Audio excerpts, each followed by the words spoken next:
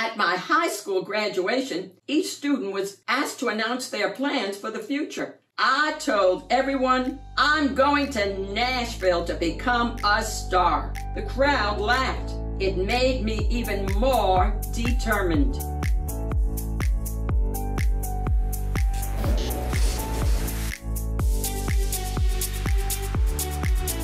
Hi everyone, welcome to the Reading Den with Shen, and I am Shen. Today I'm going to read with you and your family an abridged version of a marvelous biography called I Am Dolly Parton, written by the outstanding Brad Meltzer, illustrated by the wonderful Christopher Eliopoulos. And today I want to give a special shout out to Manny from Nashville, Tennessee, USA.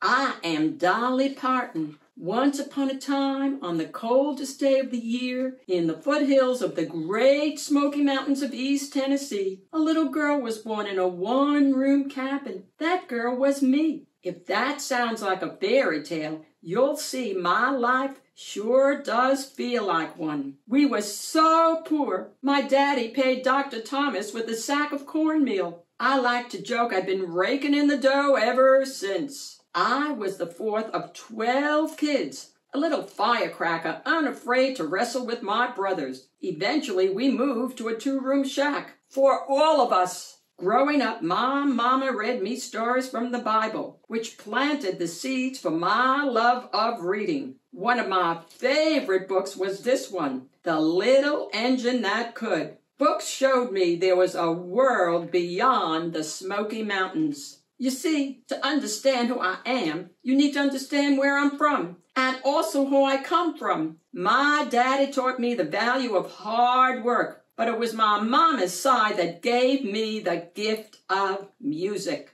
Today, it's easy to find music on the TV or radio, but back then we didn't have electricity. Luckily, we did lots of singing in church. Some said my voice was weird, but I kept singing. Even before I could write, I was making up songs to stand out since Daddy didn't let us wear makeup. I put flour on my face and rouged my cheeks with pokeberries. My first performances were on a porch with a tin can for a microphone. I'd sing to the kids I was babysitting. I'd sing to whatever animals I could find. Heck, I'd sing to dirt if no one was around. When I was 10 years old, my Uncle Bill got me my first radio performance. I looked for help, but I knew it was up to me. I sang as if I'd never have another chance. The crowd exploded, and unlike the kids I babysat, none of them crawled away. You never know where your dreams can take you. At 12 years old, Mom took me to an abandoned nearby church that I went to for some quiet time. Inside, I couldn't believe what I saw. It wasn't just the old piano.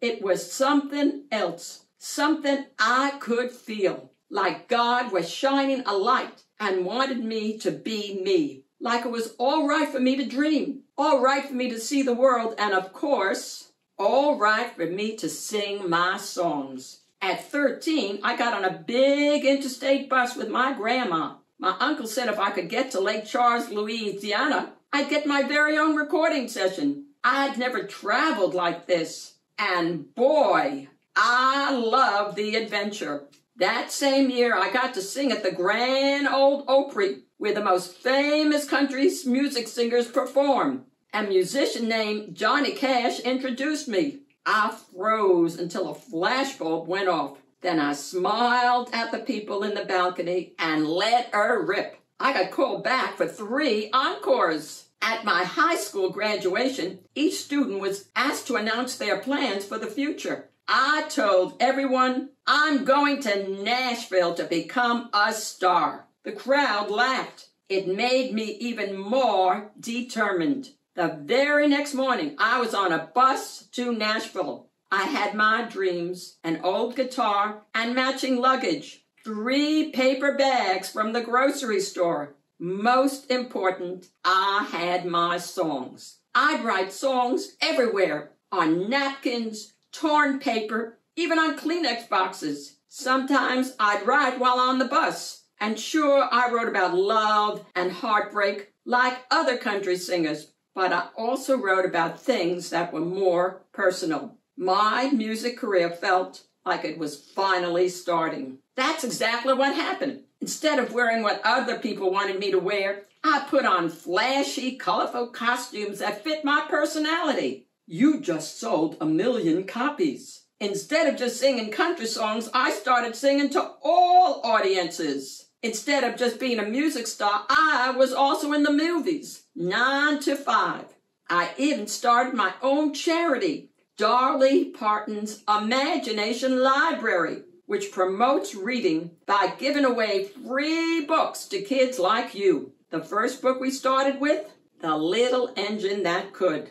Eventually, I opened my own amusement park. I wanted a place where people could dream and fantasize all they want. In every song I sing, know what I'm really doing? Telling a story. Stories of everyday people, poor people, people who feel invisible or unseen. I write about women and men going through the hard parts of life. And the more I sing about triumphs and sorrows, the more people realize they aren't alone. At my concerts, you can find the old and young, rich and poor, gay and straight, city folk and country folk, black and white, and everyone else you can imagine. I love them all. I don't judge who people are as long as they're themselves. In my life, I came from humble beginnings, and that was just fine by me. I was never ashamed of it. It made me who I am and it gave me the foundations of my life, my faith, my family, and my music. It's okay to be different. It's okay to feel unseen. Sometimes the world won't be cheering for you, but I will be. Whatever mountains get in your path, keep climbing. It's the only way to see what's on the other side. Did you know that Dolly has written around 3,000 songs? Including I Will Always Love You, which hit number one for 14 weeks. She's won 10 Grammys and sold 100 million albums worldwide. Her imagination library has gifted over 185 million books to kids around the world. There's only one thing you gotta be in life yourself. Whatever you are, be authentically that and the people who look, sound, or think different from you, love them for who they are too. Your dreams are worth dreaming. Your songs are worth singing. Your story is worth telling, just as it is. Be proud of who you are and don't ever limit yourself. I am Dolly Parton and I see the light that shines within you. The end. I love this story. Let me know in a comment what you thought. To visit the Reading Den with Shen and find out about other fabulous books, please subscribe. Thanks for hanging out at the Reading Den with Shen. I'll see you all soon again. Bye, everybody.